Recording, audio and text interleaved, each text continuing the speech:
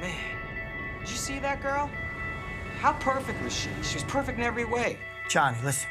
Modeling agencies bring these girls from all over the world, and they put them in these little model apartments with absolutely no money.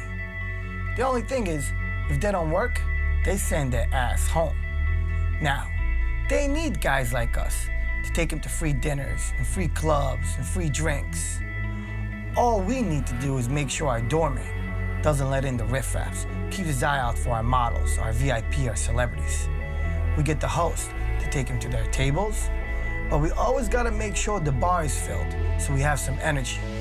Then we hire a DJ like this guy, Sal, and we take care of our customers. The guys who do a thousand, two thousand dollars.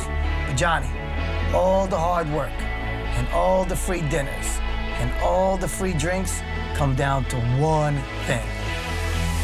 And that thing is this guy. The customer that would do $100,000. That bottle right there, Johnny, is $100,000. Are you listening to me? Guys, you have a very big night tonight, okay? I want your table glove. Do not leave that table. You work that table.